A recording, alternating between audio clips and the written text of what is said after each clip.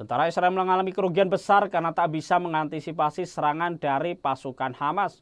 Komando militer Rafah yang baru saja dibentuk tewas seketika dalam serangan bom kelompok perlawanan Palestina.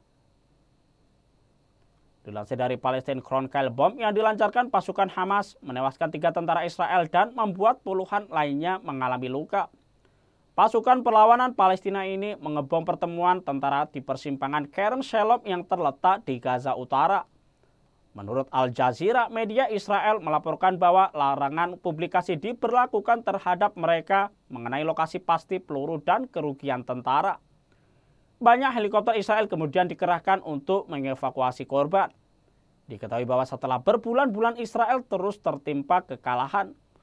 Pertemuan tentara tersebut dihantam setidaknya 14 roket dan bom mortir. Brigade Al-Qassam sayap militer gerakan perlawanan Palestina Hamas mengaku bertanggung jawab atas serangan tersebut.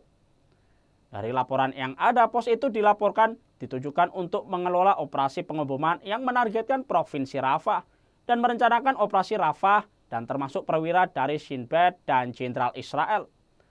Sebelumnya Hamas menembakkan setidaknya 8 rudal ke Israel pada Rabu 8 Mei Serangan Hamas itu pun diklaim sukses menembus sistem pertahanan udara Iron Dome Israel dan menghantam wilayah militer IDF.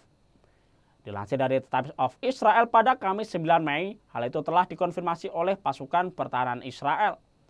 Menurut IDF, 8 rudal telah ditembakkan dari Rafah di Gaza Selatan ke Israel dalam waktu bersamaan dan menyasar target. Jangan lupa follow, like, dan subscribe sosial media Tribun Jateng. Download Tribun X sekarang. Menghadirkan lokal menjadi Indonesia.